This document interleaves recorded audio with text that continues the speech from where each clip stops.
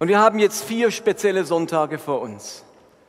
Ich halte die nächsten drei Sonntage Predigten, die eine Art Trilogie darstellen, hängen zusammen, bauen aufeinander auf.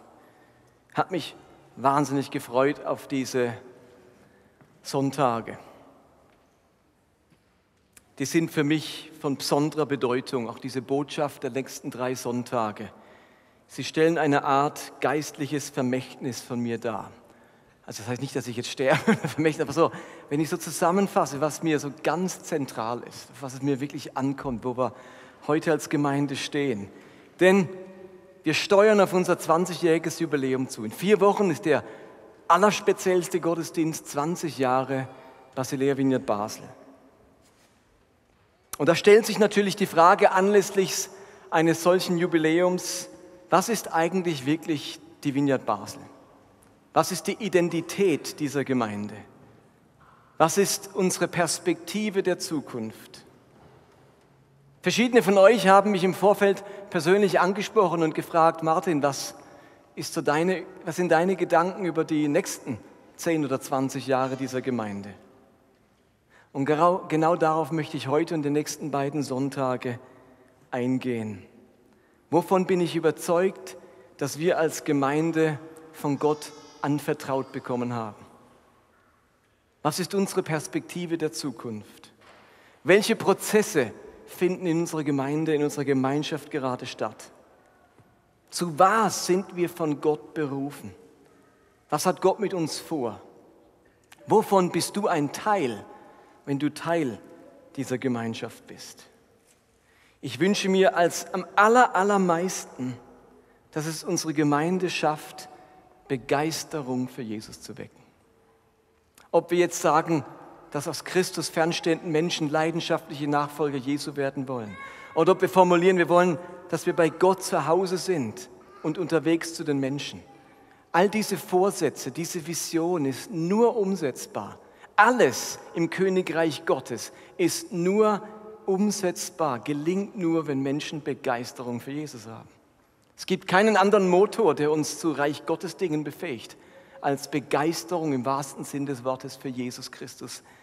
Dass der Geist uns leidenschaftlich macht für die Person von Jesus Christus. Und ich möchte euch ein wenig mit hineinnehmen.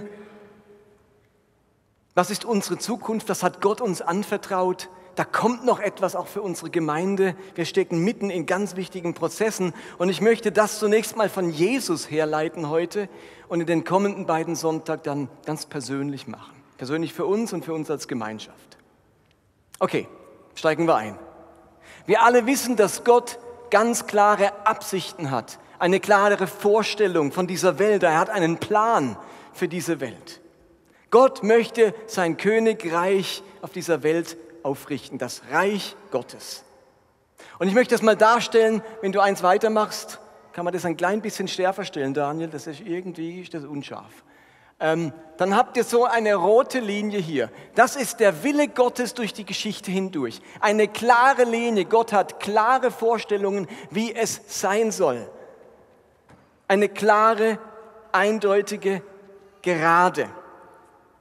Und wo immer Menschen Teil dieses Plans werden.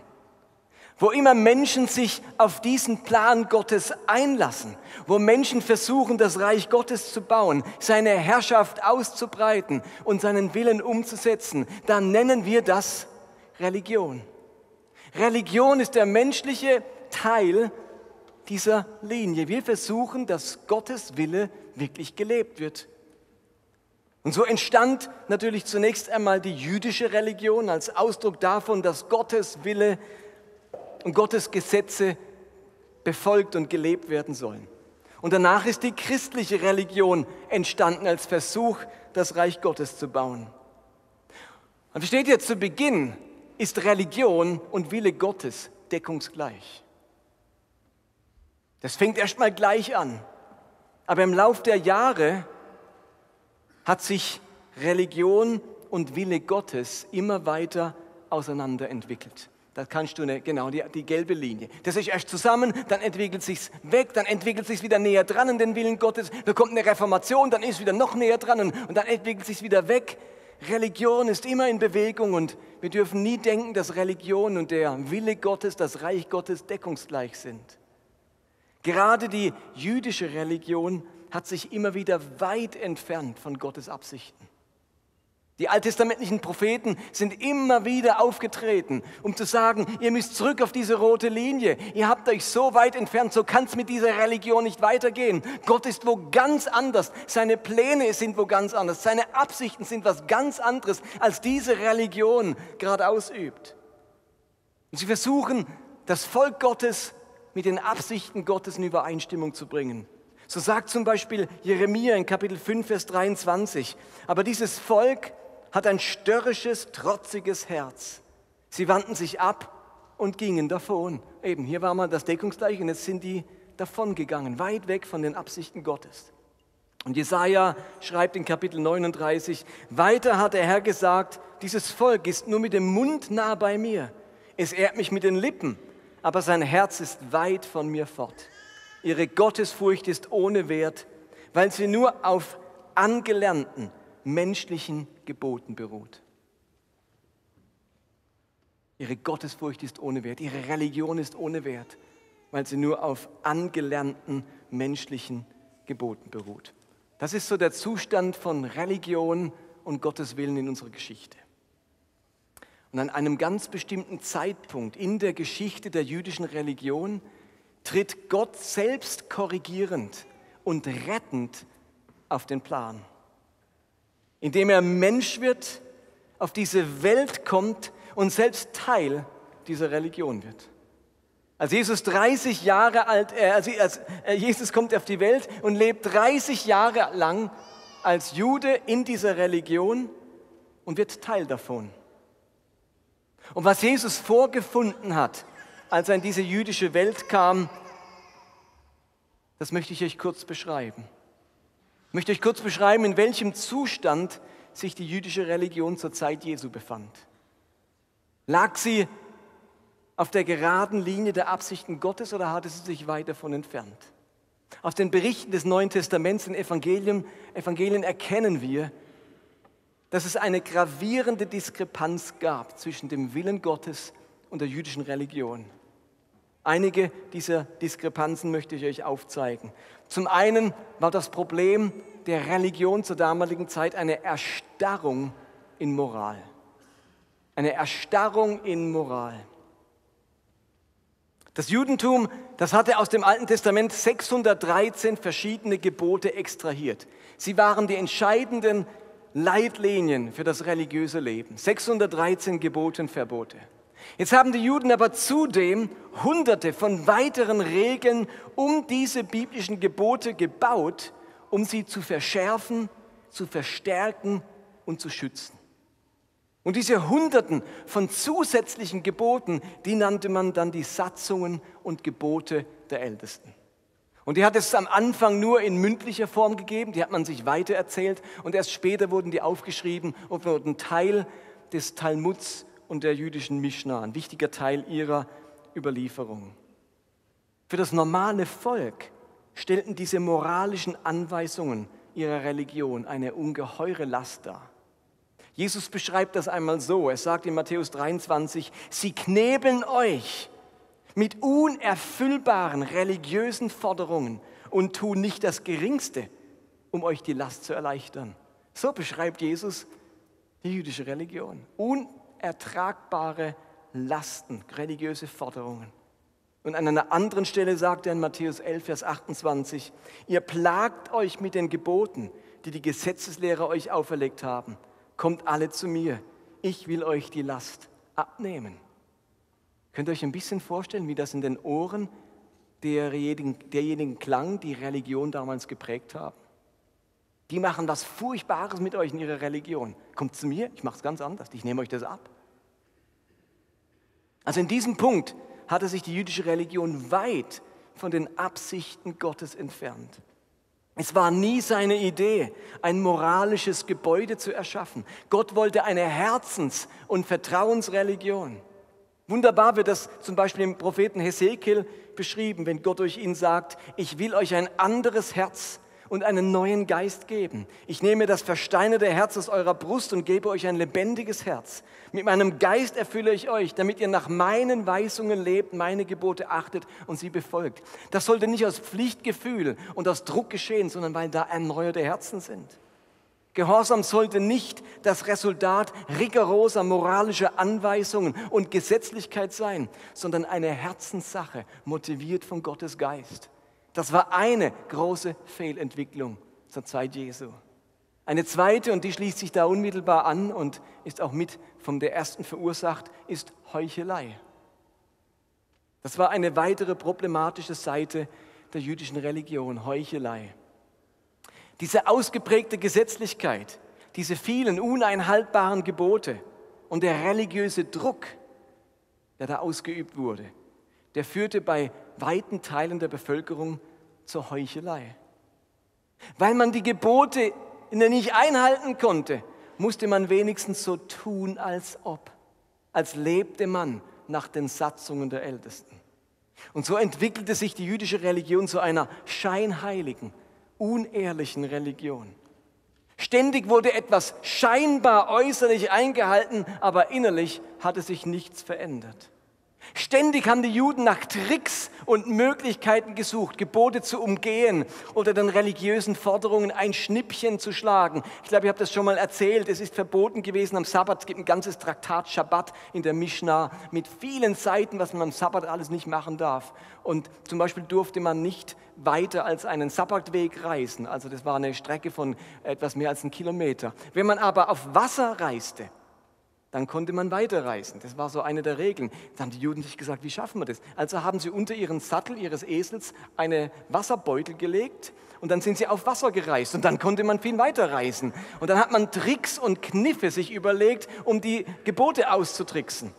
Jesus sagt dazu in Matthäus 23, euch Schriftgelehrten und Pharisäern wird es schlimm ergehen. Ihr Heuchler, sorgfältig achtet ihr darauf, dass eure Tassen und Teller nach außen sauber sind, doch innerlich seid ihr durch und durch verdorben, voller Missgunst und Maßlosigkeit. Jesus nennt dieses Problem der jüdischen Religion beim Namen, eine massive Heuchelei. Aber gleichzeitig hat Heuchelei noch einen anderen Aspekt.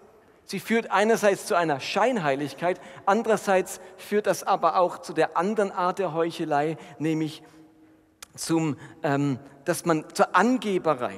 Man hat jetzt durch diese vielen Gebote nämlich auch die Chance, sich einen besonderen Anschein der Frömmigkeit zu geben. Schau mal, was ich alles kann, was ich wieder gemacht habe. Ich faste zweimal am Tag und du, denkt an die Szene im Tempel, wo der Pharisäer sagt, Herr, ich, ich, ich und dieser Sünder da. Also das, plötzlich sind die Gebote auch geeignet dazu, anzugeben, zu prahlen, auch eine Form von Heuchelei. Guck mal, wie doll ich bin.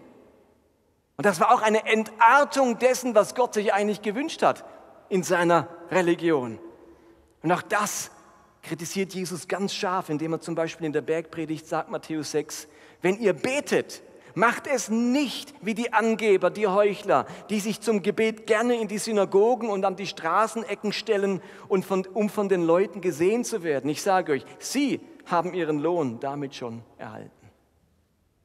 Also immer wieder wird dieses unehrliche, prahlerische und in die Heimlichkeit treibende Seite dieser Religion scharf kritisiert. Einerseits von den Propheten im Alten Testament und eben auch von Jesus. Und damit komme ich zur dritten Sache, die schiefgelaufen ist in der jüdischen Religion zur Zeit Jesu. Und das waren ausgeprägte Machtstrukturen. Bei Gott gibt es eigentlich kein Ansehen der Person sondern alle sind Brüder und Schwestern. Und jetzt hat aber die jüdische Religion Strukturen entwickelt, die es ermöglichten, dass die einen Macht über die anderen ausüben konnten. Eigentlich war es Gottes Absicht, dass in der Bevölkerung immer wieder ein Ausgleich stattfindet, damit Gleichheit, Gleichstellung stattfindet. Das war in der göttlichen roten Linie in seinen Absichten fest verankert. Wenn Ungleichheiten entstehen, einer wird mächtiger, stärker als ein anderer, reicher als ein anderer und so weiter, dann muss das ausgeglichen werden. Aus dem Grund gab es alle sieben Jahre das Sabbatjahr und alle 50 Jahre das Erlassjahr. In diesen Jahren mussten Schulden erlassen werden, es mussten Grundstücke zurückgegeben werden, verpfändete Sachen mussten zurückgegeben werden und Sklaven, Menschen, die sich selbst versklavt haben, weil sie Dinge nicht mehr bezahlen konnten, mussten freigelassen werden. Und plötzlich war wieder eine Gleichheit, ein Ausgleich im Volk. Die Reichen mussten ihr Zeug wieder hergeben an die Armen und die Armen bekamen ihren Besitz zurück.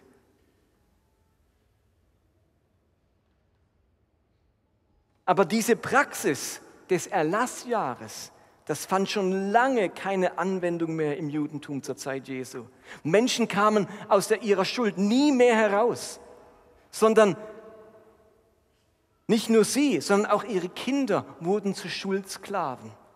Ein ganz großer Teil der jüdischen Bevölkerung waren Tagelöhner. Die waren sogar noch niedriger gestellt als die Sklaven und hatten keine Chance, je aus ihrem Elend herauszukommen. Denn ein Tagelöhner hat immer nur so viel, wie er für einen Tag braucht. Ein Tagelöhner kann nichts zur Seite legen, denn er hat nur das absolute Minimum für einen Tag. Da kann ich sagen als Tagelöhner, ach, da spare ich mal ein bisschen was. in fünf Jahren bin ich ein gemachter Mann. Der, hat nicht doppelt so viel verdient, wie er brauchte. Der hat nur minimalen Lohn bekommen, Tagelöhner. Und dann denkt ihr euch, aber gut, jeden Tag, ihr denkt, die haben jeden Tag einen Job gehabt. Da gab es viele Tage, da hatten die Tagelöhner keinen Job. Da hat aber nicht die AHV ausgeholfen oder sonst irgendeine Stelle. Dann hatten sie nichts. Diese Leute kamen nie mehr aus ihrer Unterwerfung, aus ihrer Schuld, aus ihrer Armut heraus. Da gab es immer ganz viele arme, schwache, unterdrückte, machtlose und ohnmächtige. Und gleichzeitig wurde diese jüdische Religion dominiert von ein paar wenigen Mächtigen, den Sadduzäern und dem jüdischen König mit seinem Hofstaat, die überhaupt nichts übrig hatten für die einfache Bevölkerung und nur am Machterhalt interessiert waren. Entsprechend gestalteten sie natürlich die Religion mit so vielen Unterdrückungsmechanismen, und kollaborierten mit den ganz Mächtigen, nämlich den Römern, was in ihrem, Aus, in ihrem Gesetz ausdrücklich verboten war, um ihre Macht zu erhalten. Und auch hier nimmt Jesus das auf und kritisiert es mit deutlichen Worten, zum Beispiel in Markus 10, da heißt es, ihr wisst, dass die weltlichen Fürsten herrschen und die Mächtigen unter ihnen haben Gewalt. Aber also soll es unter euch nicht sein, sondern welcher will groß werden unter euch, soll euer Diener sein.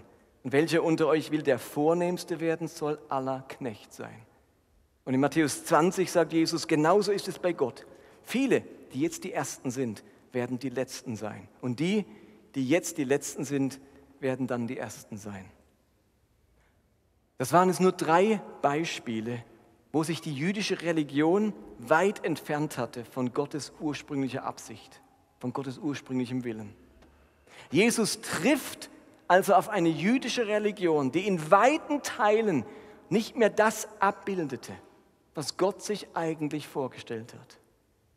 Und natürlich kam Jesus nicht auf die Welt, um da mitzuspielen, um diese falschen Strukturen und Fehlentwicklungen zu fördern. Natürlich kam er nicht deswegen, sondern er hat es ganz, ganz anders gemacht. Er kam, um diese Religion zu erneuern, zu korrigieren, zu verändern. Er hat mit seinem Tun einen Kontrast dargestellt, anders gelebt, anders gesprochen, anders gehandelt. Und ihr könnt euch vorstellen, dass das zu enormen Spannungen zwischen den Vertretern der Religion und Jesus mit seinen Jüngern führte. Immer wieder begegnen wir im Neuen Testament ähm, dieser Konfrontation. Immer wieder muss sich Jesus vor den Vertretern der Religion verantworten und sich Vorwürfe anhören. Sie fragen ihn immer wieder Dinge, das sind jetzt alles kurze Zitate aus dem, aus dem Neuen Testament. Sie fragen ihn, warum heilst du am Sabbat? Es gibt doch genug andere Tage, an denen man heilen kann. Warum wäschst du nicht rituell die Hände vor dem Essen? Warum gehst du in das Haus eines Sünders? Warum isst du mit den Zöllnern, mit einem Zöllner? Warum nennst du einen heidnischen Hauptmann frömmer als uns? Warum lässt du dich von einer Frau berühren und warum sprichst du mit Frauen? Warum verurteilst du nicht die Ehebrecherin? Warum erklärst du unreine Speisen für rein? Warum lässt du dich von Aussätzigen berühren? Warum kritisierst du die religiösen Führer? Warum treibst du die, die Dämonen nicht so aus wie wir? Was hast du gegen Reichtum und Wohlstand, der doch ein Segen Gottes ist? Merkt ihr bei diesen Anfragen? Man könnte sie zusammenfassen. Als, als, all diese Anfragen bringen zum Ausdruck, Jesus, warum machst du es nicht so wie wir alle? Warum machst du es nicht so, wie man es macht? Wie es unserer Religion entspricht? Warum, Jesus, musst du die Dinge immer anders machen? Warum kannst du nicht bei dem bleiben, was überliefert ist und was schon die Torah und die Ältesten lehren? Warum kannst du nicht die gute alte Religion unterstützen? Warum bringst du alles durcheinander? Das war die Frage, die ihm ständig gestellt wurde. Und ihr könnt euch vorstellen, ein Mensch, der so in Frage gestellt wird, der alles so durcheinander bringt, der diese Religion zu erschüttern scheint, dem muss man den Tod wünschen. Da muss man immer wieder sich treffen und sagen, wie werden wir den los? Der macht es so anders, der bringt alles so durcheinander. Wie werden wir den los? Müsst ihr euch vorstellen, das war so gravierend, dass Johannes der Täufer, der am Anfang Jesus taufte, sah, wie die Taube vom Himmel kam, sich auf Jesus setzt und ihm dann sagte, siehe, das ist Gottes Lamm, der all seine Jünger zu Jesus schickt und sagt, folgt nicht länger mir nach, folgt ihm nach, er ist der Christus, der Messias. Dieser Johannes der Täufer erlebt jetzt ein, zwei Jahre mit, wie Jesus alles anders macht, alles in Frage stellt. Und noch aus dem Gefängnis, kurz vor seiner Hinrichtung, schickt er seine Jünger zu Jesus und sagt, Jesus, sag es mal in meinen Worten, du machst alles so anders. Du stellst alles so in Frage, was wir als Juden glauben bist du wirklich der Messias oder habe ich mich getäuscht? Sollen wir auf den anderen warten? Also selbst so ein Mann Gottes war zutiefst verunsichert und hatte seine Fragen, Jesus, wenn du alles so anders machst, bist du wirklich der Messias? Kann das sein, dass wir so weit weg sind und das wirklich alles so anders sein müsste? Es gibt einen Text, wo Jesus auf diese Anfragen, warum er alles anders macht, eine deutliche Antwort gibt. Eine Antwort, warum er, nicht, warum er es nicht so macht wie bisher, warum er in vielem gegensätzlich handelt als die bisherige Religion. Dieser Text steht in Lukas 5, Vers 33 bis 38, 39. Ihr habt, ihr habt ihn wahrscheinlich auch auf eurem Zettel, ein ganz wichtiger Text. Dort heißt es, wieder einmal kamen die Pharisäer zu Jesus und stellten ihm eine Frage. Die Jünger von Johannes dem Täufer fasten und beten viel. Und unsere Jünger halten es auch so. Warum aber essen und trinken deine Jünger, ohne sich um die Festtage zu kümmern? Jesus, warum musst du es anders machen? Wir fasten, unsere Jünger fasten, Johannes der Täufer fastet, seine Jünger fasten, deine wieder mal nicht. Warum Extrawurst? Warum musst du es wieder anders machen? Das ist doch jetzt kein Problem zu fasten. Machen doch alle so. Jetzt ist Fastenzeit. Guck doch mal auf die Uhr. Es ist Fastenzeit. Da fastet man, Jesus. Da antwortete Jesus, wollt ihr vielleicht die Hochzeitsgäste hungern lassen, solange der Bräutigam bei ihnen ist? Die Zeit kommt früh genug, dass der Bräutigam ihnen genommen wird, dann werden sie fasten. Noch mit einem anderen Beispiel ging er auf ihre Frage ein. Wie war die Frage? Warum machst du anders? Warum machst du es anders? Niemand zerreißt ein neues Kleid, um damit ein altes zu flicken. Nicht nur, dass es um das neue Kleid zu schade wäre, sondern der neue Flicken passt auch gar nicht zum alten Kleid. Und es kommt ein drittes Beispiel. Ebenso füllt niemand jungen, gärenden Wein in alte, brüchige Schläuche. Sonst platzen sie, der Wein läuft aus und die Schläuche sind unbrauchbar. Nein, jungen Wein füllt man in neue Schläuche. Und jetzt kommt der Satz, der getroffen hat. Wer aber gern alten Wein trinkt, der will vom jungen Wein nichts wissen. Der alte Wein ist immer noch der beste, sagten sie. Wird, wird er sagen. Also die Pharisäer, die greifen hier das Thema Fasten auf und fragen Jesus, warum er mit seinen Jüngern zur Fastenzeit nicht fastet. Und darauf antwortet Jesus dreifach. Er gebraucht drei verschiedene Bilder. Und mit dem ersten Bild, ich gehe jetzt auf die Bilder kurz ein, mit dem ersten Bild vergleicht er sein Kommen und sein Dasein auf dieser Welt mit der Zeit einer Hochzeitsfeier.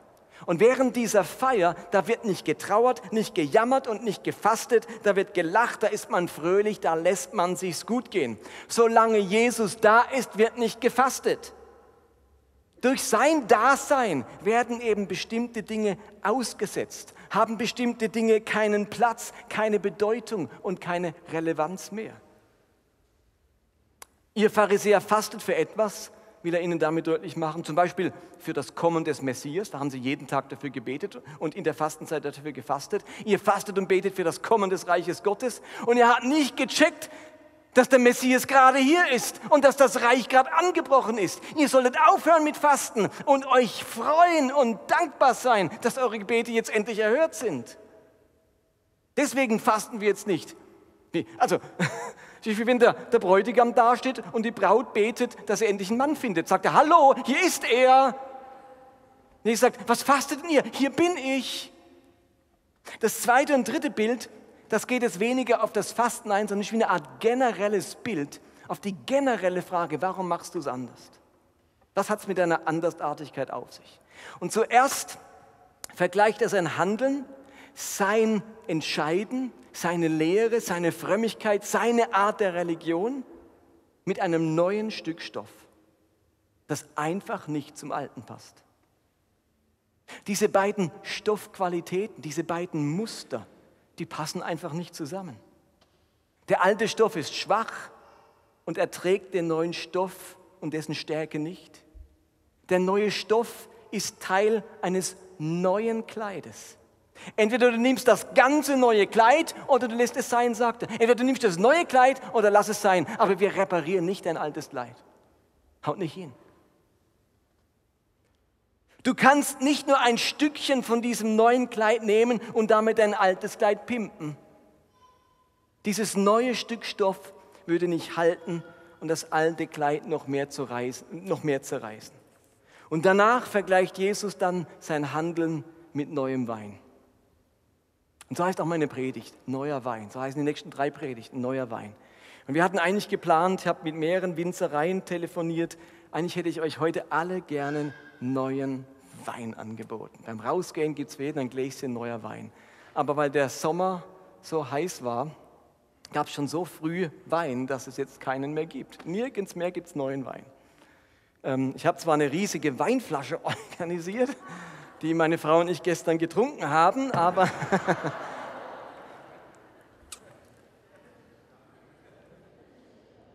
Jesus vergleicht sein Handeln mit neuem Wein. Und neuer Wein muss in neue Weinschläuche gefüllt werden. Diese neuen Weinschläuche, die sind eben noch elastisch, die sind dehnbar. Denn neuer Wein, der entwickelt sich noch. Hört gut hin auf meine Worte. Neuer Wein entwickelt sich noch. Er ist noch immer in einem Prozess. Er gärt. Er reift erst noch.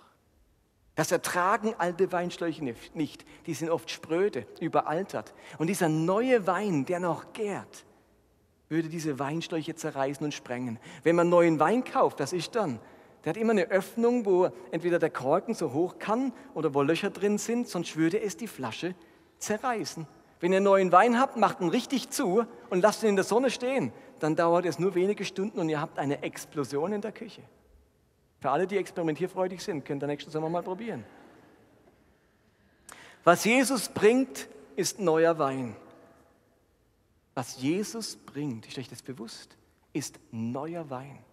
Eine neue Sicht der Dinge. Eine neue Sicht der Torah. Eine neue Sicht des Gesetzes. Eine neue Sicht der Gebote und der Moral. Und damit ein neuer Umgang mit der Torah. Eine neue Frömmigkeit. Eine korrigierte Religion. Eine neue Denkweise. Religiöses Leben, das eben wieder im Einklang ist mit der Absicht und dem Willen Gottes. Eine neue Sicht des Menschen und eine neue Sicht des Sünders. Vor allem eine völlig korrigierte Vorstellung von Gott. Aber für diesen neuen Wein muss man beweglich sein, elastisch,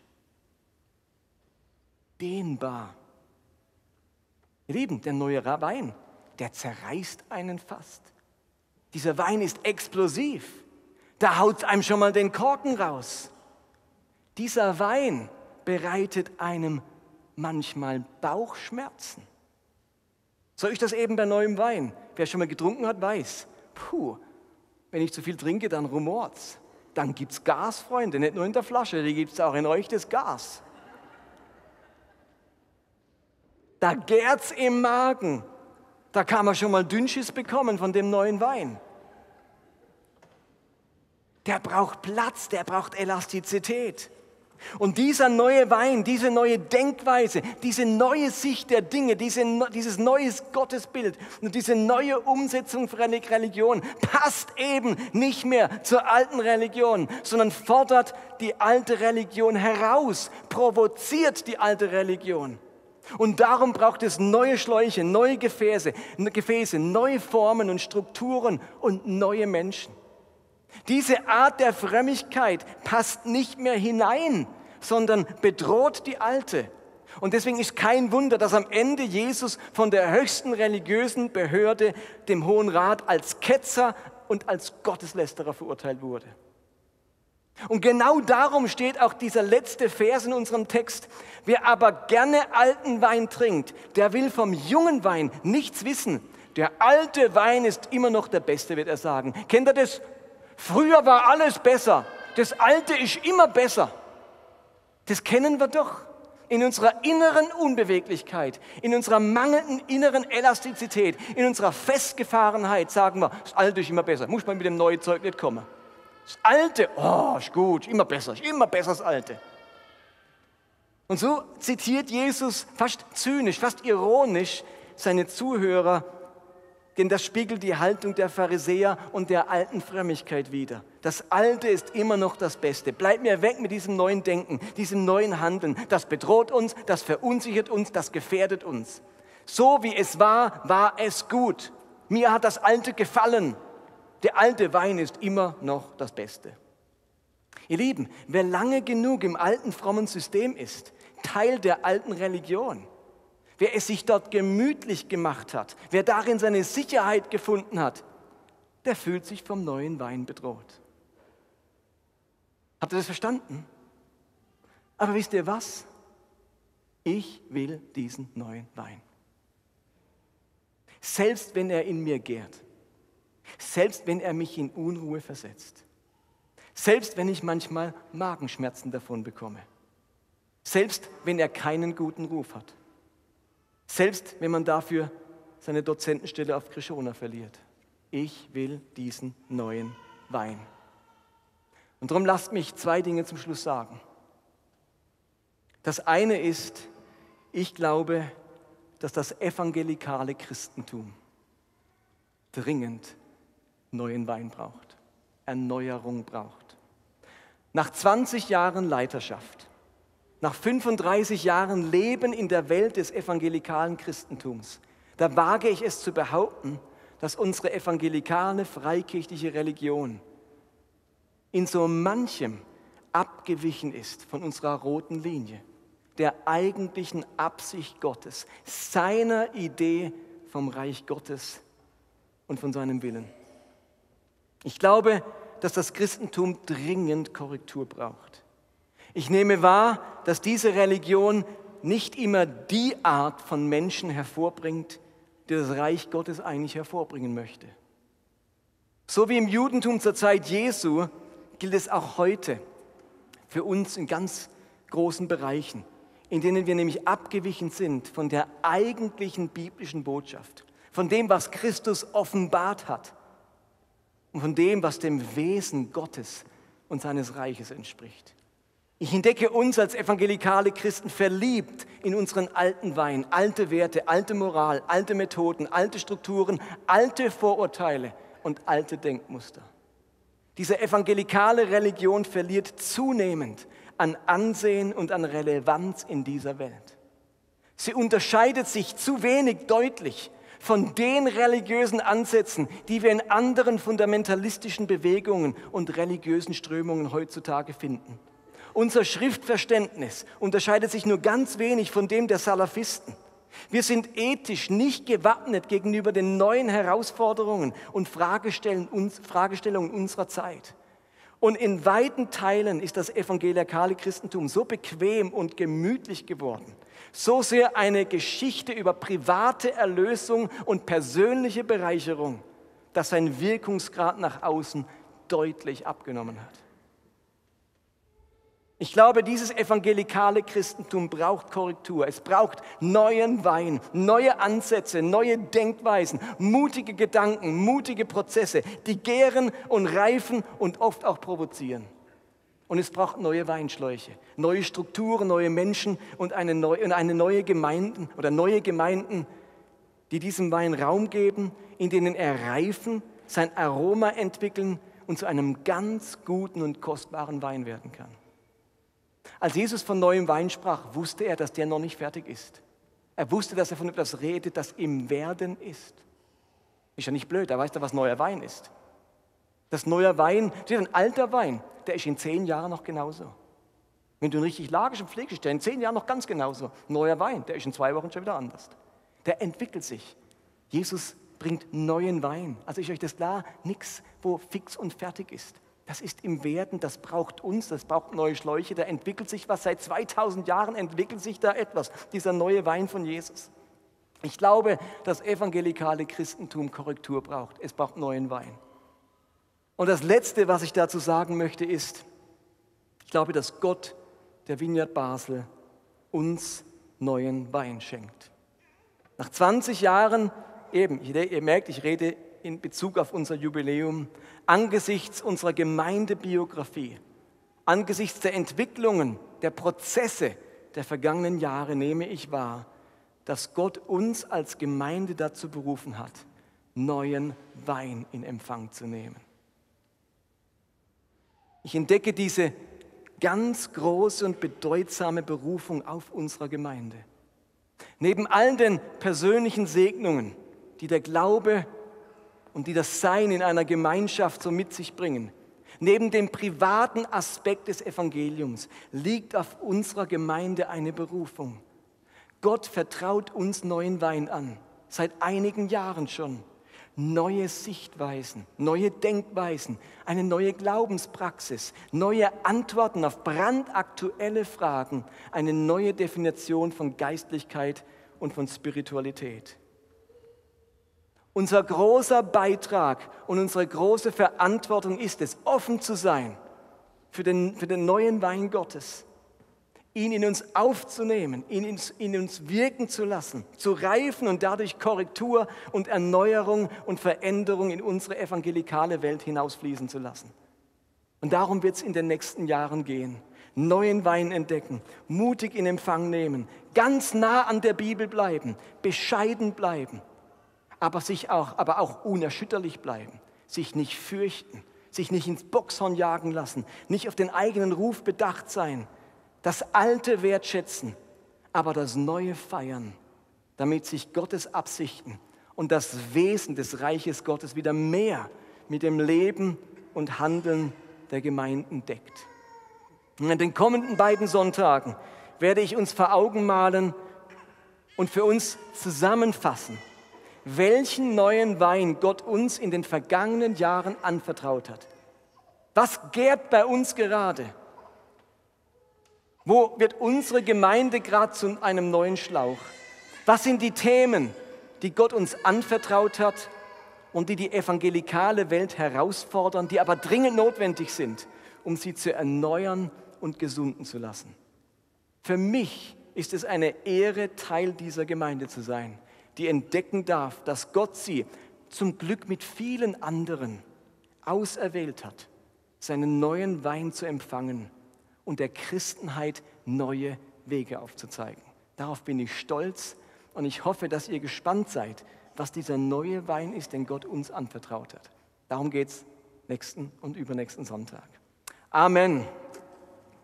Ich lade euch ein zu einem Gebet. Die Band kann gern nach vorne kommen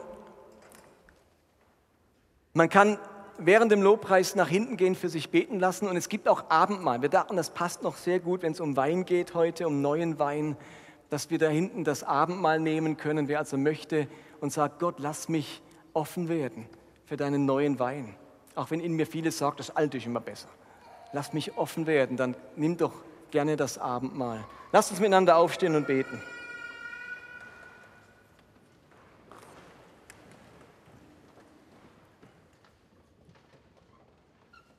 Jesus, ich bin zutiefst fasziniert und auch begeistert von dir. Du kamst in diese Welt, hast Missstände gesehen und hast gesagt, das machen wir anders.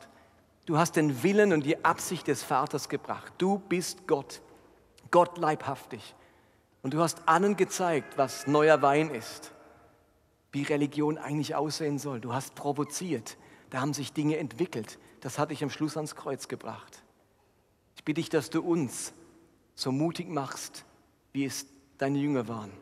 Und wir diesen neuen Wein empfangen, in uns aufnehmen und wir zum Segen werden für das Christentum, für die Kirchen in unserem Land. Bitte ich, dass wir uns zusammentun können, innerlich und auch äußerlich mit all denen, die sich berufen lassen für diesen neuen Wein. Bitte ich, dass du uns mutig machst und dass wir miteinander einen gesunden Stolz entwickeln auf die Berufung, die du auf uns gelegt hast.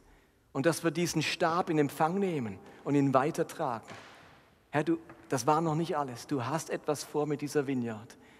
Und ich bitte dich, dass sich das für uns wirklich klärt und wir sehen, wo wir stehen nach 20 Jahren und welche klare Zukunft sich für uns abzeichnet.